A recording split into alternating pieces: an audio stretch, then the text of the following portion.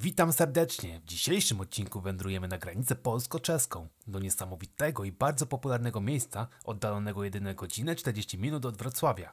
Zapraszam do oglądania.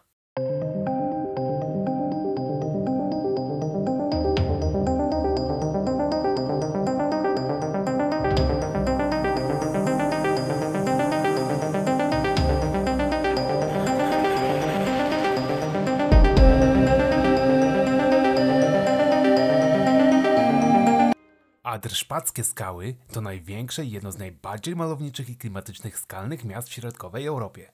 Znajdziecie tu setki form skalnych o różnych kształtach, szmaragdowe jeziorko i wodospady. Skalne miasto zwiedzicie wytyczoną w pętli trasą o długości 3,5 km.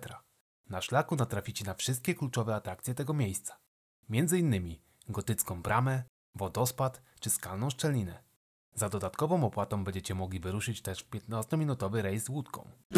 I don't think so. No, no, no, no. I don't think so. No, no, no, no.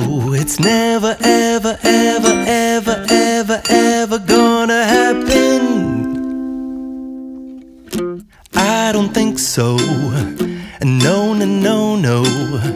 I don't think so. No, no, no, no. It's never, ever, ever, ever, ever, ever gonna happen. I don't think so. No, no, no, no. Maybe. Liczba biletów do skalnego miasta w Czechach jest ograniczona. Warto kupić je wcześniej przez oficjalną stronę wraz z parkingiem. Koszt to około 30 zł. Skalne miasto to miejsce bardzo popularne. W sezonie i weekendami w ciasnych labiryntach spotkacie wielu turystów. Do Adrspach polecamy wybrać się w tygodniu, zaraz po otwarciu kas, wtedy ruch jest najmniejszy. Jeśli lubicie tego typu atrakcje, to skalne miasto warto połączyć ze zwiedzaniem dużo mniej znanych, teplickich skał. Dziękuję za uwagę i do zobaczenia. Bardzo polecam to miejsce.